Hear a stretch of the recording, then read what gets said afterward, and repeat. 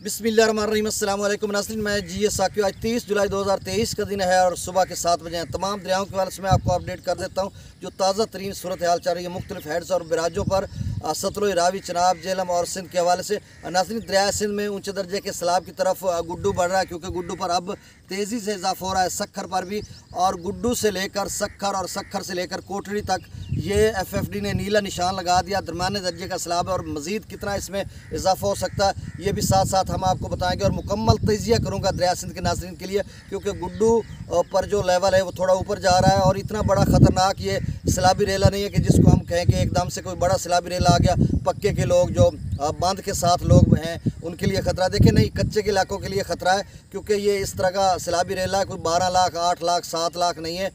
छः भी शायद ना बने, पाँच के ऊपर नीचे रहे तो ये सारी डिटेल मैं आपको बताता हूँ। दूसरा दरिया सतलुज पीछे से नॉर्मल होता जा रहा है और आगे जाकर इस्लाम हेडवर्क से आगे थोड़ा पानी की मकदार में इजाफा हुआ है। तो इस्लाम हेडवर्क से आगे जो लोधरा के इलाका जाते हैं, बहावलपुर के या जलालपुर, पीरवाला मुल्तान के इलाके जाते हैं, उनमें क्या सूरत हाल रहेगी?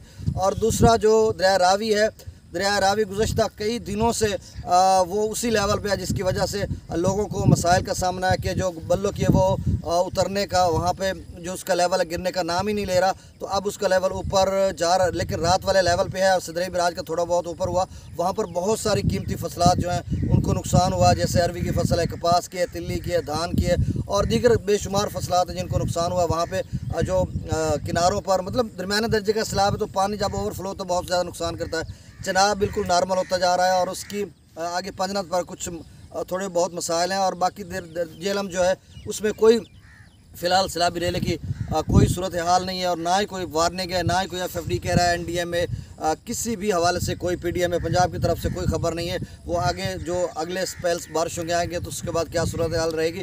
और रावला, जो रावल डैम है, रावलपिंडी, इस्लामाबाद के साथ, उसमें थोड़ा बहुत पानी छोड़ा गया है। तो वो कितना छोड़ा गया, इस सारी डिटेल में आपको बता देता हूँ। तफसील से जाने से कबल आप सबसे गुजारिश है, मेरे इस यूट्यूब चैनल चश्मे साकी पर, जो नए दोस्त सबाब हैं, इसको सब्सक्राइब करें। बहुत शुक्रिया।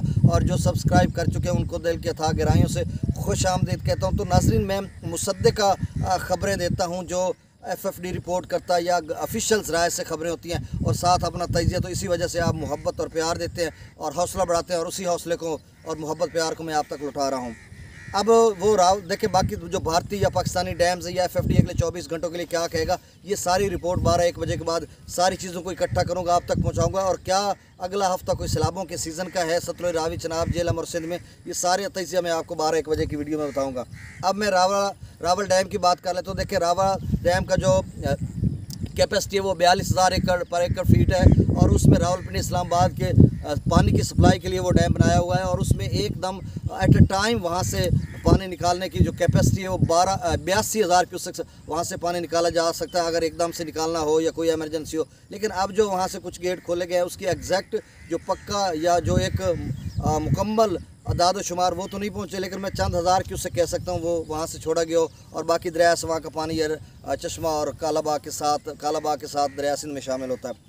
अब तमाम दरियाओं का डाटा मैं शेयर कर देता हूँ। सबसे पहले दरिया सतलुज की बात करते हैं तो नाजरी गंडा सिंह वाला पर अठावन हज़ार तीन सौ साठ की उससे सुलेमान की पर, बाईस हज़ार तेरह की उससे क्या सॉरी सुलेमान की पर बाईस नहीं, अल्लाह करे बाईस हो जाए।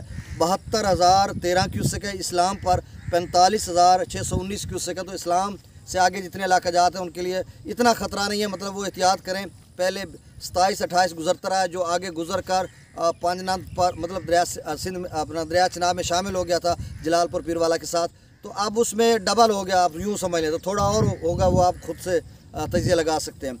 दरिया रावी में जस्सर पर इकतालीस हज़ार सात सौ साठ क्यूसक है, शादरा पर चौंतीस हज़ार तीन सौ अठारह क्यूसक बल्लो की पर अठावन हज़ार आठ सौ सत्तर क्यूसक है। रात बारह बजे भी अठावन हज़ार पे था और अब भी अठावन हज़ार पे है। उम्मीद है कि अब इसका लेवल कम होना शुरू हो जाएगा।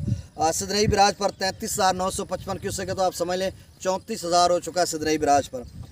दरिया चनाब में मराला पर उनासी हज़ार चार सौ चार क्यूसेक है खानकी पर सतर हज़ार छः सौ पचासी क्यूसेक, कादराबाद पर बहत्तर हज़ार सात सौ पच्चीस क्यूसेक, त्रिमू बिराज पर अठहत्तर हज़ार एक सौ अड़सठ क्यूसेक और पंजनाथ पर तिरानवे हज़ार छः सौ तीन क्यूसेक है। ये सतानवे से तिरानवे पे आया और मज़ीद इसमें इजाफा हो सकता है। दरिया ज़िले में मुजफ्फराबाद पर सत्रह हज़ार छः सौ अस्सी क्यूसेक डूमल पर बाईस हज़ार नौ सौ क्यूसेक चत्तर क्लास पर छप्पन हज़ार आठ सौ साठ क्यूसेक। आज़ाद पतन पर बासठ हज़ार आठ सौ दस क्यूसेक कोटरी पर सात हज़ार सात सौ पचास क्यूसेक। मंगला डैम से जो अखराज किया जा रहा है, वो दस हज़ार क्यूसिक है, रसूलपुर से जो अखराज हो रहा है, वो पाँच हज़ार तीन सौ इकतालीस क्यूसिक है।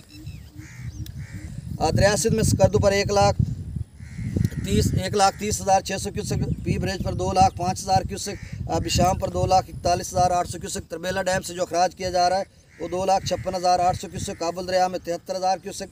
कालाबाग पर तीन लाख चौदह हज़ार सात सौ उनतीस क्यूसिक, चश्मा पर तीन लाख इक्यावन हज़ार छः सौ अठासी क्यूसिक, तौसा बिराज पर जो है वो तीन लाख अड़सठ हज़ार दो सौ निन्यानवे क्यूसिक और गुड्डू बिराज पर चार लाख पचास हज़ार दो सौ सत्रह की साढ़े चार लाख पे पहुँच चुका है और मजीद एफ़ एफ़ डी तो ऊँचे दर्जे का सैलाब की पेश गोई उसने की थी आज तीस जुलाई को और रात गए तक इसका लेवल ऊपर बढ़ता जाएगा और देखना होगा कि अब ये कहाँ तक जाता है। सखर बिराज पर तीन लाख साठ हज़ार पचपन क्यूसिक है और सखर पर मतलब इजाफा होगा। कोठरी पर एक लाख आठ आठ हज़ार नौ सौ चौरासी क्यूसिक तो आप नाजरीन सुन लें कि गुड्डू से लेकर कोठरी तक दरमियाने दर्जे का सैलाब है। और इन मकाम पर मज़ीद इजाफा होगा। और बाकी जो पीछे तोसों से आगे काफ़ी मकाम है जहाँ पर पानी की सतह कम होना शुरू हो गया। यकीन ये लोग ना रहीम यार के मुख्तलिफ़ इलाकों से कॉल्स करते हैं। वहाँ पर भी अब ये गुड्डू या उससे पीछे रुझान ये इन इलाकाजात में पानी की सतह में इजाफा होता जाएगा। और आगे क्या होगा ये आपको हम अब अपडेट करेंगे। जब जब डाटा हम तक पहुँचेगा, हम आप तक पहुँचाएँगे। मेरी दुआ अल्लाह ताला आपको, आपके अहल वयाल को, माल मवेशी, फसलात, जान माल सबको महफूज रखे। आमीन, सुम्मा आमीन। अल्लाह हाफिज़।